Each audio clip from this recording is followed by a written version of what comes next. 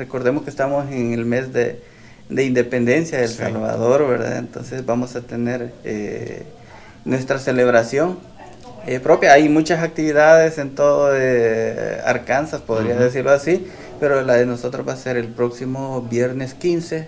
Viernes 15, ok. Sí, el propio día, viernes 15 de septiembre, de 6 a 8 de la tarde. Y va a ser acá en la oficina. Ok. Ajá, y pero pues, si se preguntan algunos que todavía no saben dónde está la oficina, estamos en el 3875 al west de la Sunset Avenue en Springdale. En Springdale. Sí, nos pueden encontrar ya sea en nuestro Facebook, que también está el cómo llegar, o si no en Google, que, que ahí estamos con toda nuestra, nuestra información, ¿verdad?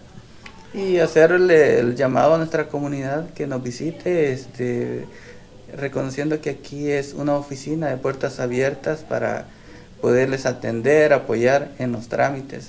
El consulado es más que un proceso de, entregar documentos y emitir documentos, es un proceso en el cual eh, trabajamos también velando por los derechos laborales de los salvadoreños que trabajan, que están acá, ¿verdad? Independientemente de la, de la condición migratoria que ellos se encuentren.